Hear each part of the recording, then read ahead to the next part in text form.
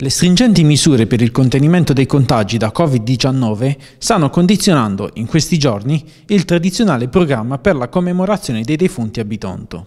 Per agevolare e diluire l'afflusso dei cittadini ai cimiteri inferiori rispetto agli anni scorsi, l'amministrazione comunale ha infatti programmato, per tutto il periodo della commemorazione dei defunti, l'apertura con orario continuato, dalle 7 alle 17.30.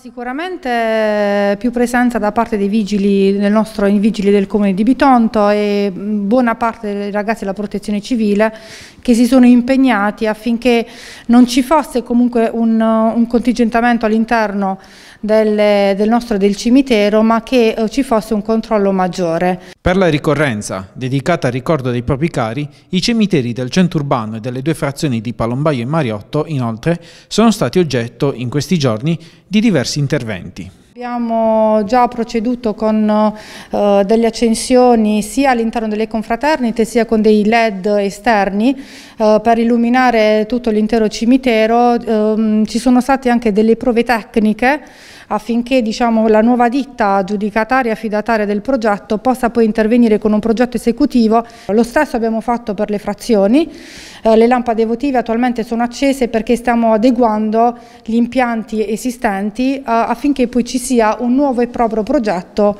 eh, sul quale poi inizieranno i lavori successivamente. L'assessore ha anche parlato dei futuri interventi per la fruibilità dei cimiteri cittadini.